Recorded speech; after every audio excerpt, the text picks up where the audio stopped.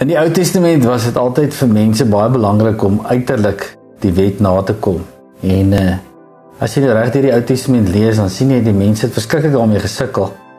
Hulle kon dit nie reg kry nie. Hulle kon nie met die uiterlike wet regkom nie. Maar nou kom die Bybel hierso in Hebreërs. Ons almal ken hierdie gedeelte waar Jesus gekom het en die volmaakte offer gebring het. Die Bybel sê hy was 'n hoëpriester wat vir eens en vir altyd ingegaan het.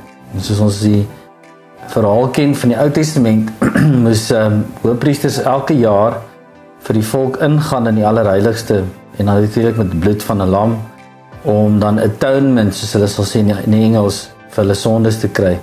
Ehm um, hulle sondes was bedek. Maar Jesus kom en hy was ons sondes weg. En soos hy ons sondes weg was en hy in ons hart kom woon, gebeur daar iets in die Nuwe Testament wat my wonderlik is. Is dat die Here kom en hy sê Deel van die belofte dat hy vir ons die Heilige Gees gegee het in sy krag is dat ons nie meer wette uiter wette uiterlik hoef na te kom nie, maar dat dit in ons hartstafel eintlik geskryf word, vasgepen word.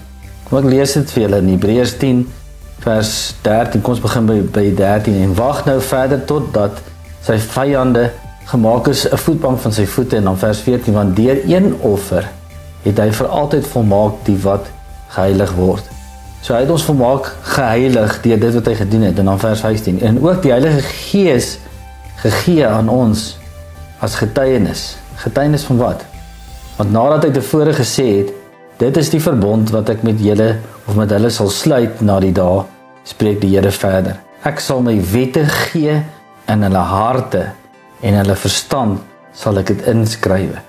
So dit help nie dat ek en jy probeer om uiterlik dinge na te na te kom nie. Dit help nie dat ons die woord lees en dan probeer ons met ons eie krag en ons eie manier van dink en doen uh die wette na te kom. En as ek praat van die wette, praat ek van die voorskrifte van sy woord. Dit wat vir hom lieflik is, loflik is, alles wat mooi is. Sê die woord bedink dit. Vrug van die gees, liefde, blydskap, vrede, lankmoedigheid, selfbeheersing, al hierdie dinge is nou in ons hartstafels neergeskryf deur die Heilige Gees en sy krag. Daarom kom Paulus en uh, hy sê met oortuiging in Romeine 8 vers 1, daar is dan nou meer geen veroordeling vir die wat volgens die Gees wandel, maar nie volgens die vlees nie, want is wanneer ek en jy in die Gees wandel, die Heilige Gees totaal en al beheer neem van ons lewens, dat ons uh die wette en die vrug van die Gees en dit wat die woord vir ons sê in ons hartstafels neergeskryf word deur die Heilige Gees krag is ons besig om as kinders van God op te tree. En dan vers 17 sê en alle sondes en alle ongeregtigheid sal ek nooit meer dink nie. Wow, wat 'n groot belofte.